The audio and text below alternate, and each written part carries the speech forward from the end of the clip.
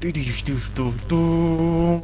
2016 году в связи с плохим финансированием московского метрополитена было принято создать и вложить большую часть финансирования в принципиально новый концептуальный подвижной состав под названием израильский номерной. Но, к сожалению, точнее, к счастью для московского метрополитена, состав оказался провальный. Часто ломается, часто сходит с рельсов.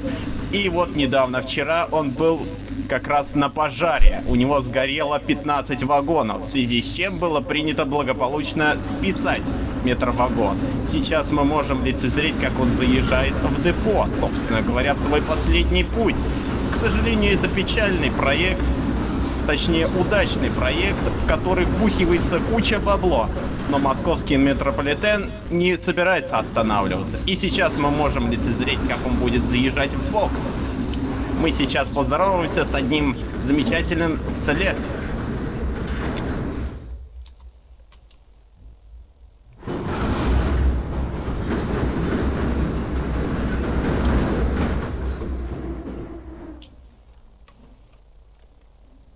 Въеби стену со всей дури.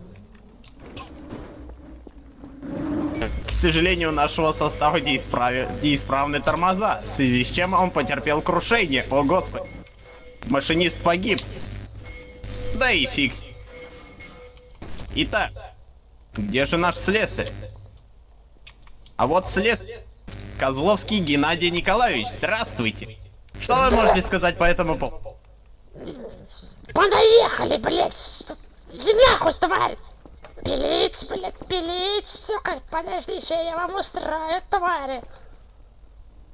Мы можем лицезреть, как э, Геннадий Николаевич Козловский э, воспроизводит починку состава, точнее э, его распил. К сожалению, это прискорбный момент для московского метрополитена, так как, как придется опять снова выделять из государственного бюджета города Москвы на новый подвижной состав. А, твари, идите нахуй все! Всю страну разорили, твари, блядь! Все нахуй!